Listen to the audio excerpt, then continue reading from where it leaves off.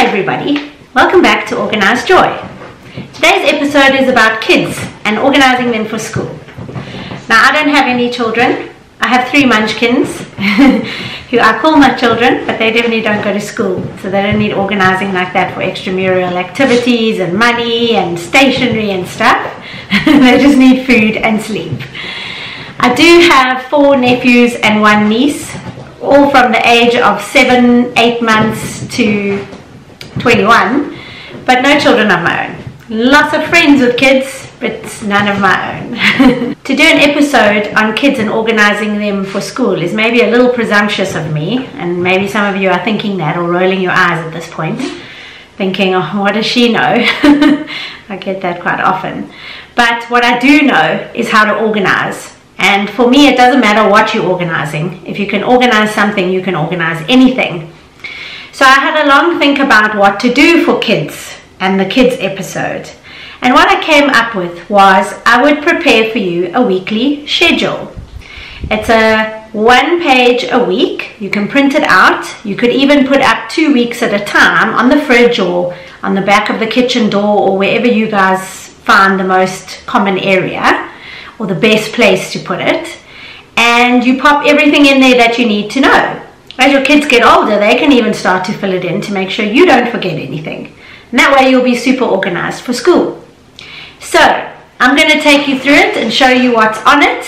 And yeah, hopefully it will be of some benefit to you all. I hope so. Weekly schedule for kids. I've done it as an A3 for you. You can definitely print it as an A4.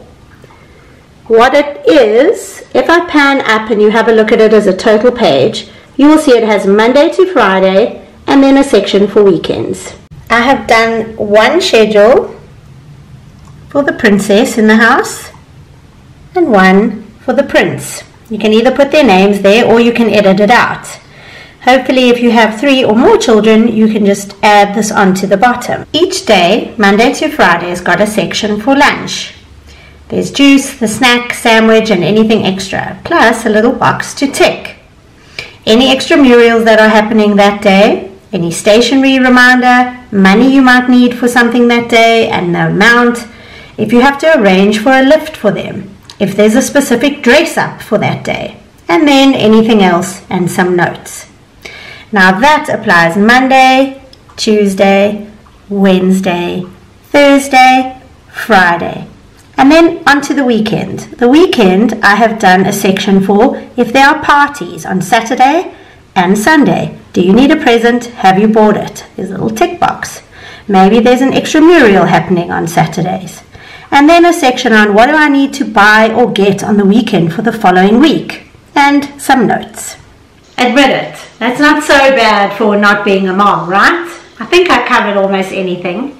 But it is also in Excel format so you can download it and you can always add in some things that maybe I've forgotten or are relevant specifically to you and your family. It is on my website. It is list number 43 called Kids Weekly Schedule.